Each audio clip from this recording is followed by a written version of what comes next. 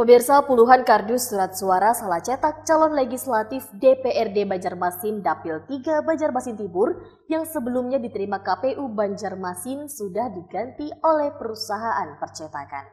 Setelah diterima KPU, surat suara hasil cetak ulang tersebut kemudian disortir dan dilakukan pelipatan.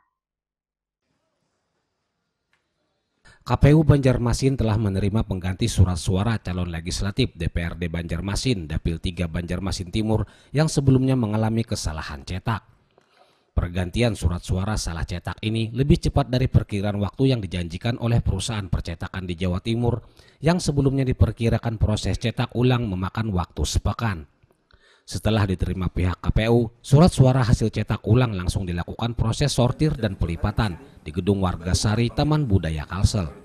Jadi 1.800 yang rusak, yang salah cetak ada puluhan kotak.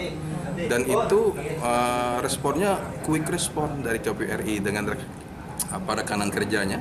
Sabtu kita temukan tanggal 16 Maret, malamnya pihak ketiga dari pihak percetakan yang penyedia surat suara menghubungi kami.